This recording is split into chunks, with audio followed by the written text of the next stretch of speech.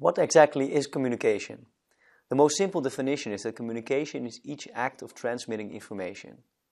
Information in the broadest sense of the word, including thoughts, ideas, and emotions.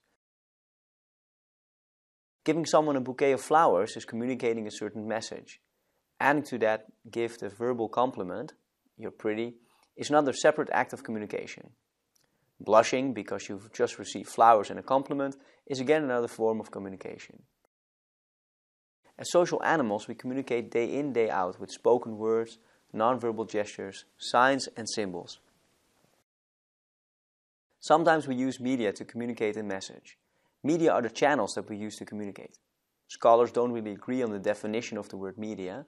Television, internet, radio, mobile phones, uh, the soapbox we stand on to give a speech, they're all technical media in a way, things we constructed to amplify our communication. In the more broader definition, we can include our hands, voice, and eyes that we all use to communicate somehow in the list of communication channels, of media. In general, however, whenever we discuss mediated communication or the mass media, we only mean the first category. Over the years, scientists from different scientific disciplines have studied these channels of communication and all these different forms that communication can take. The result of their studies have formed the basis of the relatively new science of communication. And even today, many scholars in other disciplines study the exact same communication phenomena as we do. We share theories and models and often use the same methods to analyze and describe our field. It is therefore useful to be aware of how these other disciplines are connected with ours.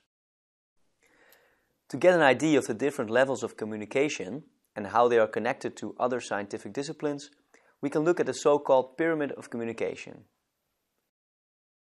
On the highest level of this pyramid, we find societal communication, which is by its very nature aimed at a large mass audience.